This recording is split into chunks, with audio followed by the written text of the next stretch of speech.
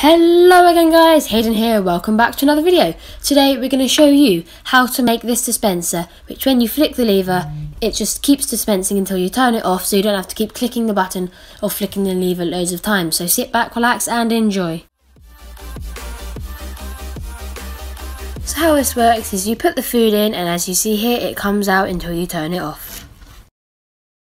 You can use this for pretty much anything. If you want arrows to dispense out and shoot, use a dispenser because then they actually shoot out. If you want them to just drop out, use a dropper. You could use chicken hatching systems where you put dispensers down that hatches the eggs. You could do meat, you could do anything in here. So the first thing you want to do is find your land and place a dropper down on the floor. And then you want to place a redstone comparator coming out of the dropper with a redstone repeater coming out of the comparator. And then you want to place a redstone repeater going into any block of your choice. And then you just want to connect everything up with a bit of redstone.